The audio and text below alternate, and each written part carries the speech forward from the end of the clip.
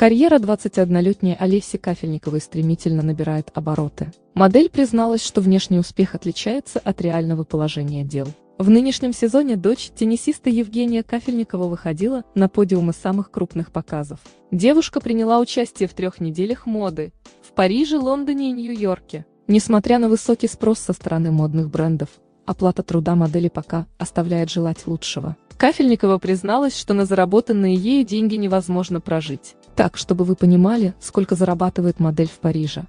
Я со всех шоу, что отработала в октябре, могу купить себе только новый компьютер, пожаловалась Олеся. Звезда иронично оценила образ жизни инстаграм-моделей, которые любят хвастаться высоким достатком, полученным от съемок. Так что все эти инстамодели, которые говорят вам о красивой жизни, «Ну вы поняли, как они зарабатывают», – заявила Кафельникова. Из-за скромных гонораров возлюбленной рэпера Фараона приходится экономить. Сейчас она живет в съемной квартире, а зарплату тратит исключительно на еду и путешествия. Я езжу на метро, покупаю билеты на самолет сама, иногда на мили накопленные. За апартаменты 50 евро в день плачу и хожу пешком, поделилась звезда. Кафельникова призналась, что труд модели очень непрост. Часто она думает о том, чтобы уйти из индустрии, от принятия этого решения ее останавливают друзья, которые хорошо разбираются в модельном бизнесе и прочат ей большое будущее. По их мнению, сейчас ей необходимо много работать, чтобы сделать себе имя. От этого зависит ее успех в выбранной сфере.